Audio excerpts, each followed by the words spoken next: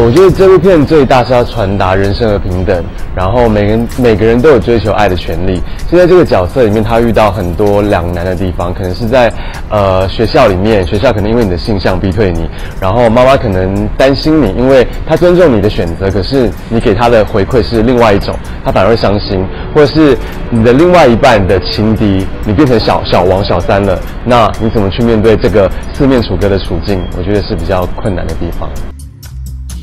当你到了一定的岁数之后，你会发现，你越知道你自己要什么时候，你就越难找到另外一半。那凯文这个角色是告诉你，寻找真爱，不要放弃这件事情。我希望不要放弃我最初唱歌这件这件事的梦想，因为最早进来是歌唱比赛嘛，那绕了一圈当了通告艺人，当了灵演，然后最后回来演电影。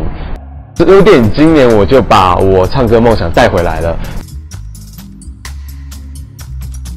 如果你真的想当演员或想走这一行，我觉得最重要的就是你知道自己的呃核心思想是什么，然后要坚持这件事情很重要。